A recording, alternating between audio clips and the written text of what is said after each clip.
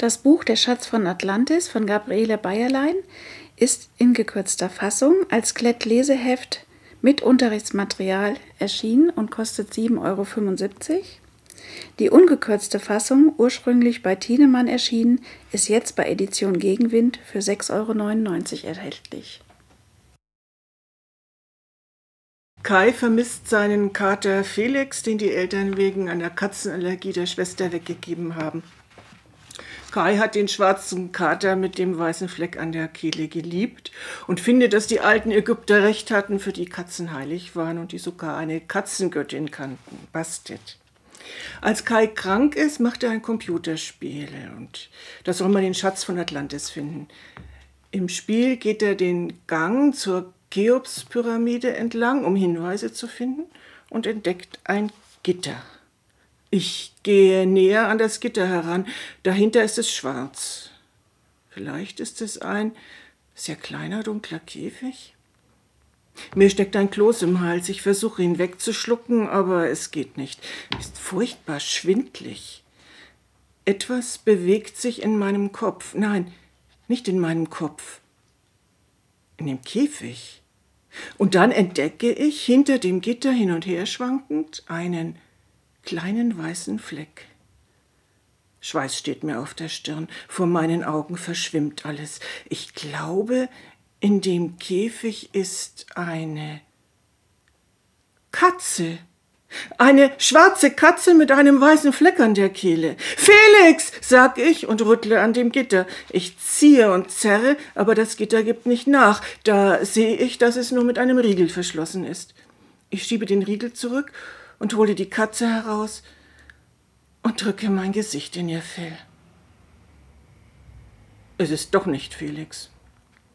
Felix ist ein bisschen kleiner und hat einen runderen Kopf. Und Felix kann nicht reden. Aber diese Katze hier, die kann es. Ich danke dir, dass du mich befreit hast, sagte sie.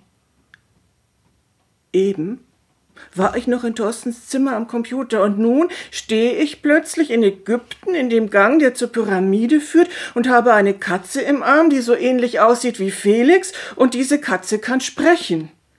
Jetzt spricht sie schon wieder. Sie sagt, Gestatten, mein Name ist Bastet. Bastet, frag ich, wie die Göttin? Nicht wie die Göttin, erwidert sie sehr würdevoll. Ich bin es selbst. Ich bin Bastet, die Göttin. Gut, wenn sie eine Göttin ist, dann wundert es mich auch nicht, dass sie sprechen kann. Nur wie ich hierher gekommen bin, das wundert mich schon. Bastet fährt fort. Da du mich aus dem unerfreulichen Käfig befreit hast, gebe ich dir drei Wünsche frei. Drei Wünsche frei? Das gibt es doch nur im Märchen. Dass mir das mal passiert, das hätte ich nie gedacht. Äh, ich wünsche mir, dass du erstmal bei mir bleibst, krächze ich und streichle ihr Fell. Es ist seidig und weich. Bastet schnurrt. Schon erfüllt, erklärt sie und fragt, und was weiter? Was willst du hier?